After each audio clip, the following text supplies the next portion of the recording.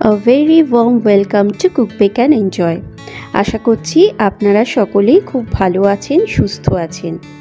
আজকে আপনাদের নিয়ে যাব নালন্দার আরও কয়েকটি ট্যুরিস্ট স্পটে।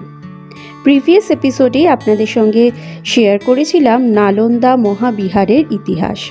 যদি মিস করে থাকেন, ভিডিওর লিঙ্কগুলো শেয়ার করে দেবো ডেসক্রিপশন বক্স আর উপরের আই বাটনে।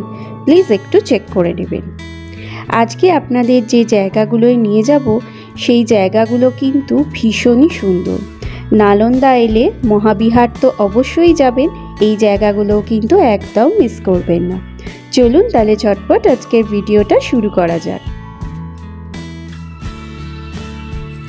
একদম নালন্দা যে রুইন্স আছে, তার উল্টো দিকেই হচ্ছে নালন্দার মিউজিয়াম আর এখানে পাঁচ টাকা করে টিকিট টিকিট কেটে আমরা এখন মিউজিয়ামের দিকে যাচ্ছি। দেখছিলাম বেশিরভাগ ট্যুরিস্টই নালন্দা মহাবিহার ঘোরার পর অন্যান্য সাইট সিইংয়ের জন্য চলে যায়। এই মিউজিয়ামটা কিন্তু অনেকেই স্কিপ করে যায়। আমাদের কিন্তু দেখে মনে হলো যে মিউজিয়ামটা অবশ্যই দেখা উচিত। নালন্দার কোথা থেকে কি বুদ্ধ মূর্তি পাওয়া গেছে সেগুলো সুন্দরভাবে ছবি দিয়ে ডিসপ্লে করা রয়েছে। আর বহু দুর্লভ মূর্তি রয়েছে যেগুলো নালন্দার উৎখননের ফলে বার হয়েছে এবং সুন্দর করে হিস্ট্রি এবং তার সময়কাল সব মেনশন করা রয়েছে। হাতে যদি সময় নিয়ে আসেন এবং যারা মিউজিয়াম স্টাডি করতে ভালোবাসেন, তারা কিন্তু অবশ্যই এই মিউজিয়ামটায় একবার আসবেন। বিষাদ জ্বালার মতো জিনিসটা দেখে মনে হচ্ছে এটা হয়তো শস্য ভাণ্ডার হিসেবে ইউজ করা হতো।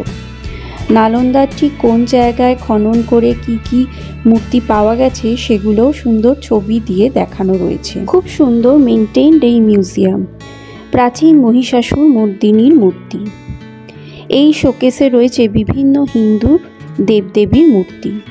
নালন্দা থেকে যে পোড়া চাল উদ্ধার হয়েছে, সেটাও কিন্তু এই মিউজিয়ামেই সংরক্ষিত রয়েছে। মিউজিয়াম ঘোরা আমাদের শেষ, এরপর চললাম আমরা হিউয়েন সাং মেমোরিয়াল হলের দিকে।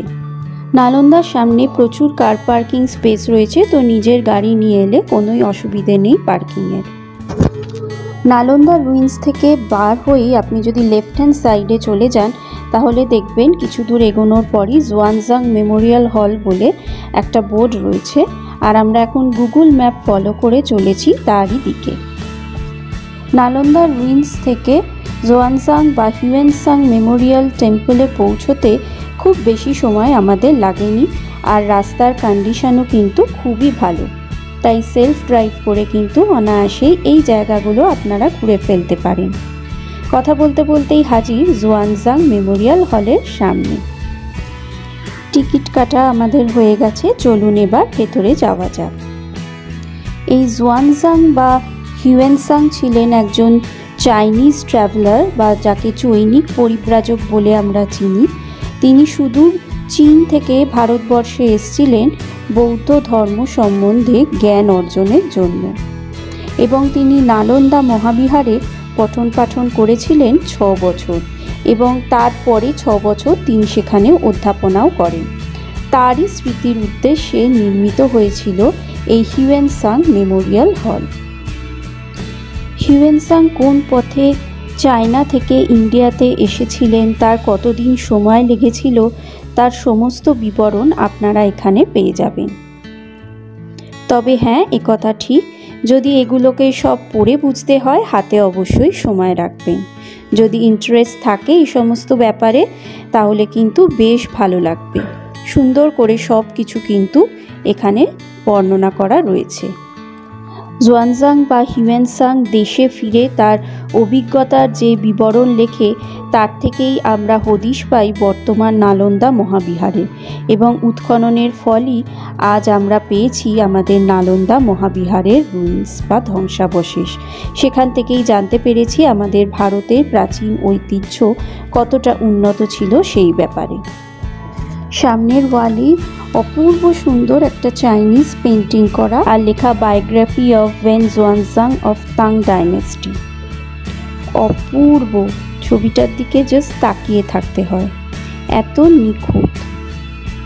বিশাল একটা মূর্তি বসানো আর ওপরে সিলিংয়ের আর্ট ওয়ার্কটা দেখেও কিন্তু আপনি চোখ ফেরাতে পারবেন না।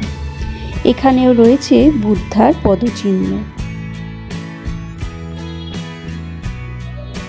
ভীষণই পিসফুল এই জায়গাটা।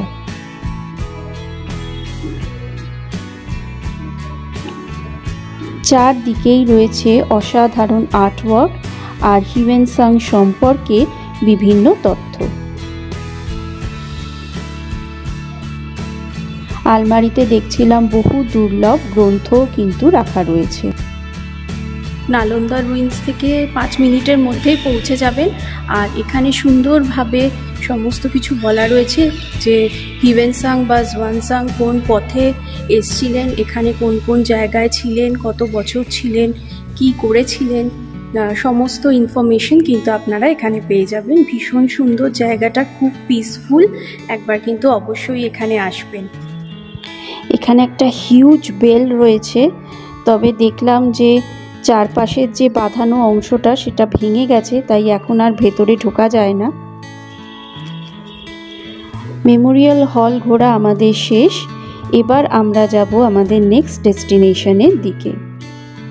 ফেরার পথে চোখে পড়ে গেল ঝোপঝাড়ের মধ্যেই উড়ে বেড়াচ্ছে কি সুন্দর দুটো প্রজাপতি। প্রকৃতির কি অপরূপ সৃষ্টি, তাই না? জোয়ানজাং মেমোরি হলের টিকিট এই কাউন্টার থেকেই পাওয়া যায়।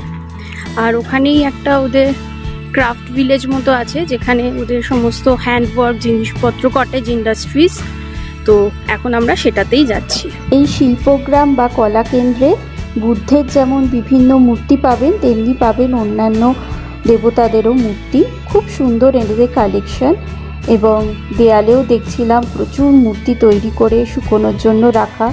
শোকেসে তো ডিসপ্লে করাই রয়েছে। আর মাঝখানের এই পোর্শনটায় দেখছিলাম বক্সে সমস্ত প্যাকিং করা হচ্ছে। ওনাদের এখানে যে ওয়ার্কশপ রয়েছে সেখানে আপনি চোখের সামনেই দেখতে পাবেন কীভাবে শিল্পীরা এই সমস্ত মূর্তি তৈরি করছেন। আচ্ছা আমরা এখন এসেছি না- নালন্দা শিল্পগ্রামে আর এখানে ওনারা সমস্ত হাতে তৈরি করা জিনিস সমস্ত ডিসপ্লে করে রেখেছেন এবং দামগুলো খুবই রিজনেবল যদি আপনারা চান যে নিজেদের জন্য অথবা বাড়ির কোনো প্রিয়জনকে গিফট করবে বলে ঠিক করে থাকেন তো এখান থেকে তাহলে কিন্তু বিভিন্ন যে মূর্তি রয়েছে এখান থেকে কিনতেই পারে। দেখুন, এই বুদ্ধের মুখগুলো অনলি হান্ড্রেড রুপিস এগুলো ওয়ান ফিফটি রুপিস সুন্দর লক্ষ্মী গণেশ রয়েছে, শিব পার্বতী রয়েছে, আর রাম সীতা লক্ষ্মণ রয়েছে, সঙ্গে হনুমানজি, বুদ্ধা রয়েছে।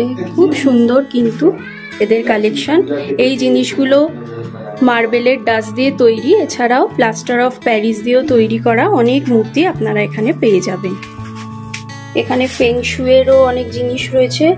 এই যে যেগুলো দেখছেন, এগুলো অনলি টোয়েন্টি ফাইভ রুপিস করে। তো গিফট আইটেম হিসেবে কিন্তু দুর্দান্ত। এত সুন্দর মূর্তিগুলোয় একটা অ্যান্টিক ফিনিশ দেয়া, আর আমাদের কলকাতায় যে মেলা ফেলাগুলো বসে, এখানে মূর্তিগুলোর দাম অনেক বেশি থাকে। তাই লোভ সামলাতে পারলাম না, নিজেদের জন্য কয়েকটা কিনলাম। আমরা জোয়ানজাং মেমোরিয়াল হল থেকে চলে এসেছি নালন্দা রুইন্সে ওখান থেকে নালন্দা রুইন্স পর্যন্ত তিন কিলোমিটার মতো রাস্তা। এখান থেকে আমরা যাব এবার পাওয়াপুরি বা জল মন্দির। এই যে নালন্দা। আর এদিকে ছিল মিউজিয়াম। ওই রাস্তাটা ধরেই সোজা এখন আমরা এগিয়ে যাচ্ছি। এখান থেকে পাওয়াপুরি বলছে তেইশ কিলোমিটার। এই রাস্তাটা দিয়ে আমরা নালন্দা রুইন্সের দিকে ঢুকেছিলাম। এবার এটার থেকে ডান দিকে ন্যাশনাল হাইওয়ে ওয়ান টোয়েন্টি লেফটে নিতে হবে। আর ডান দিক থেকে আমরা ঢুকেছিলাম, ডান দিকে গেলে হচ্ছে রাজগীর। আমরা এবার চলে যাচ্ছি বাঁ দিকে।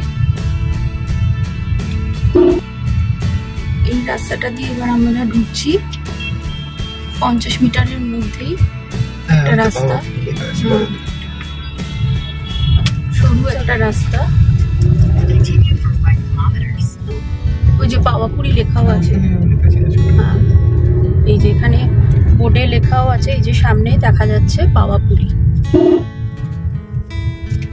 তাহলে নালন্দা রুইন্স থেকে বার হয়ে আপনি যেই ন্যাশনাল হাইওয়ে ওয়ান টোয়েন্টিতে পড়ছেন, সেখান থেকেই পঞ্চাশ মিটারের মধ্যে একটা লেফট হ্যান্ড সাইডে সরু রাস্তা পাবেন। সেখানে পাওয়াপুরীর সাইনবোর্ডও আপনারা দেখতে পাবেন। সেই রাস্তাটা যদি ফলো করেন, তাহলে অনেক শর্টকাটে পৌঁছে যাবে পাওয়াপুরী জল মন্দির। আর আপনারা যদি রাজগীর থেকে ডাইরেক্ট আসতে চান তাহলে কিন্তু ৩৫ কিলোমিটার পড়বে এই জল মন্দির। আমরা গুগল ম্যাপও অন করে নিয়েছি আর রাস্তার কন্ডিশনও খুব ভালো। মোটামুটি পনেরো কিলোমিটার দেখাচ্ছে। তো চলুন যাওয়া যাক জল মন্দির বা পাওয়াপুরি। এই রাস্তাটা যদি নেন, অবশ্যই কিন্তু গুগল ম্যাপ অন করে নেবেন, কারণ রাস্তাঘাটে খুব একটা লোকজন হয়তো পাবেন না। আর গুগল ম্যাপই কিন্তু আপনাকে বলে দেবে ডান দিক, বাঁ দিক, কোন দিকে নিতে হবে। তো আমাদের কোনোই অসুবিধে হয়নি। একটা এরকম বাজার এরিয়া মতো পাবেন, বেশ কনজেস্টেড জায়গাটা। আর কিছুক্ষণের মধ্যেই আমরা আমাদের ডেস্টিনেশন জল মন্দির পাওয়াপুরীর কাছেই চলে এসেছি। দেখুন, আমাদের রাইট হ্যান্ড সাইডেই পড়ছে। আর এই জল মন্দিরের কাছে আসতেই দেখলাম প্রচুর সাদা সাদা এরকম ট্যুরিস্ট বাস লাইন দিয়ে দাঁড়িয়ে রয়েছে। তো আমরা তো অবাক, কারণ এর আগের জায়গাগুলো তো অলমোস্ট ট্যুরিস্ট নেই বললেই চলে। এতটাই ফাঁকা ছিল, আর এখানে দেখছি প্রচুর বাস দাঁড়িয়ে রয়েছে, জানি না কত ভিড় হবে। চলুন দেখা যাক। লাকিলি মন্দিরের সামনেই একটা পার্কিং স্পেস পেয়ে গেলাম, সেখানেই গাড়িটা আপাতত পার্ক করে মন্দিরের দিকে গিয়ে জানতে পারলাম সিকিউরিটিদের কাছে যে দিওয়ালির জন্য এখানে জৈনদের খুবই ভিড় আজকে। আসলে দীপাবলি দিনটা যারা জৈন রিলিজিয়ান ফলো করেন, তাদের জন্য খুবই একটা অসপিশিয়াস ডে। কারণ এই দিনই মহাবীর, যিনি চব্বিশতম জৈন তীর্থঙ্কর ছিলেন, পাঁচশো আঠাশ বিসিতে তিনি মারা যান এবং তার মৃত্যুর পর এখানেই তাকে দাহ করা হয়। এরপর তার জ্যেষ্ঠ ভ্রাতা নন্দীবর্ধন এই মন্দিরটি এখানে নির্মাণ করেন। আজকে এখানে দীপাবলির দিন জৈনদের এখানে প্রচণ্ড ভিড় কারণ এই দিনটা ওদের কাছে খুবই একটা স্পেশাল ডে ওনারা এখানে এসে পুজো দেন। এই পাওয়াপুরি কথার অর্থ হলো a town without any sins কথিত আছে যে মহাবীর যখন নির্বাণ লাভ করেন এবং তাকে যখন এখানে দাহ করা হয় তো সেই পবিত্র ভস্য তার যে ভক্তরা ছিলেন, তার অনুগামীরা ছিলেন, এখান থেকে নিয়ে যেতে আরম্ভ করেন এবং বহু বছর ধরে এইভাবে নিয়ে যেতে যেতে এই পুকুরটি বা তালাবটি সৃষ্টি হয়েছে এবং বছরের একটা সময় থাকে যখন ভর্তি পদ্ম ফুল হয়ে থাকে এই পুকুরটায় অসাধারণ সুন্দর লাগে দেখতে। নালন্দা বৌদ্ধ মহাবিহার যদি বেড়াতে আসেন, এই জলমন্দির পাওয়াপুরি কিন্তু তার খুবই কাছে একদম মিস করবেন না জায়গাটা। তবে চেষ্টা করবেন যে দিওয়ালির দিনটা একটু অ্যাভয়েড করতে, কারণ জৈনদের একটু বেশি ভিড় থাকে পুজোর জন্য। আর পাশের যে তালাবটা, সেখানে কিন্তু নানা ধরনের পাখি দেখছিলাম রয়েছে। আর ঢোকার মুখেও দেখছিলাম বোর্ডে বিভিন্ন পাখির নাম মেনশন করা, যেগুলো এই পুকুরে দেখা যায়। সেরকমই কিছু পাখি ক্যামেরা বন্দি করে ফেললাম। খুব ভালো লাগছিল দেখতে।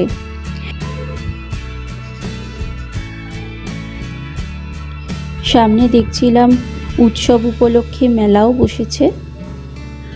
আর নালন্দায় যে সমস্ত জায়গায় মহাবীরের চরণ পাদুকা রয়েছে, এই পাওয়া পাওয়াপুরি কিন্তু তার মধ্যে একটা। পাওয়া পাওয়াপুরিতে আজকে প্রচণ্ড ভিড় ছিল। এবার আমাদের পাওয়া পাওয়াপুরি দেখা হয়ে গেছে। এবার আমরা সম্ভবত হোটেলে ফিরে লাঞ্চ সারবো। তারপরে দেখি কোথায় বেরোবো। আর এখানে এসে দেখলাম এখানে বলি লাগানো হচ্ছে যে মন্দিরের ওপর ধ্বজা ওড়ানো বা এখানে যে দীপাবলিতে স্পেশাল আরতি হয়, সেখানে নানা রকম টাকার অ্যামাউন্ট দিয়ে যে আর কি সবচেয়ে বেশি হাই স্পিড লাগাতে পারবে, তাদের দেয়া হবে ভীষণ ভিড় এখানে আছে। আশেপাশে জৈনদের এরকম আরও টেম্পল আছে, হাতে সময় থাকলে ভিজিট করতে পারেন।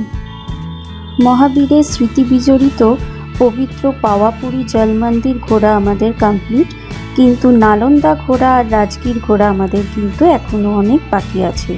তাই অনেক নতুন নতুন জায়গার সন্ধান পেতে আমাদের আপকামিং ভিডিওগুলো কিন্তু একদম মিস করবেন না। আজকে তবে বিদায় নিচ্ছি, চলে আসব নেক্সট এপিসোডে ততক্ষণ কুক বেক অ্যান্ড enjoy.